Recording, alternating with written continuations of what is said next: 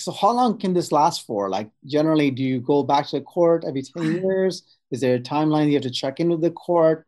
How does that work? So you do need to check in with the court. Um, they will, the court will do investigations and have you fill out reports.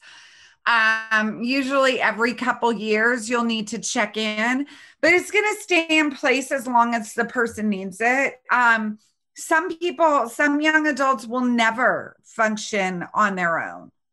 You know, what we're going to do is give them the most independence that we can.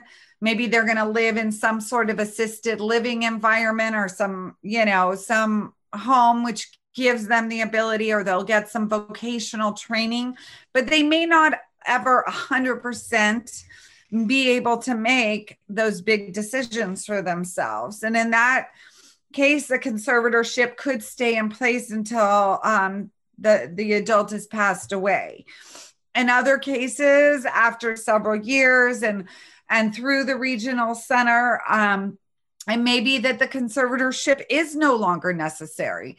That person may have capacity to be able to sign a power of attorney just in case, and and we would let go of the conservatorship at that point. So it's really going to be formulated on what are the abilities and needs of that young adult.